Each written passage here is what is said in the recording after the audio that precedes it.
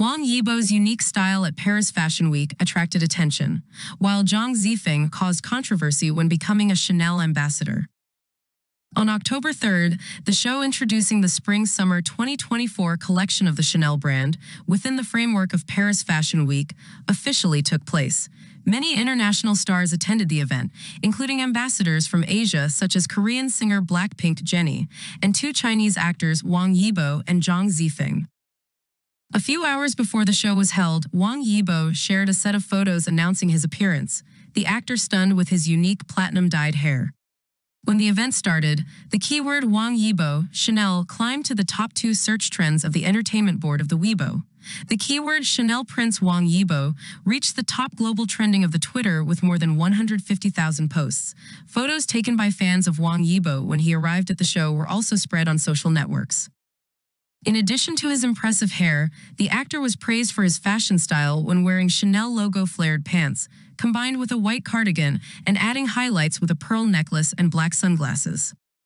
However, contrary to the images shared by fans, a series of photos of Wang Yibo taken by international reporters revealed many shortcomings. In the unedited images, Wang Yibo's expression is a bit stiff and lifeless when he takes off his glasses.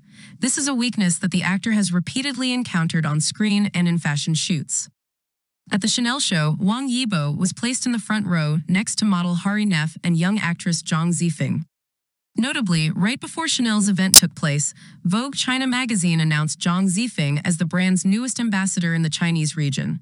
Chanel's choice of Zhang Zifeng caused controversy. Zhang Zifeng is known as the first queen of the 2000 generation. She won the Best Female Lead category of the Huabiao Awards in May 2023. However, Zhang Zifeng is not a prominent face in the fashion industry. Her style is often criticized when attending domestic events. Recently, Zhang Zifeng's appearance on the cover of the important October issue of Vogue China magazine was objected to. The actress born in 2001 does not have enough status in terms of achievements, film awards, and temperament and fashion charisma. At the Chanel show, Zhang Zifeng also failed to make an impression when debuting as the newest brand ambassador. Thank you for watching our video. Don't forget to subscribe to our channel and hit the like and share buttons to update the latest news of the day.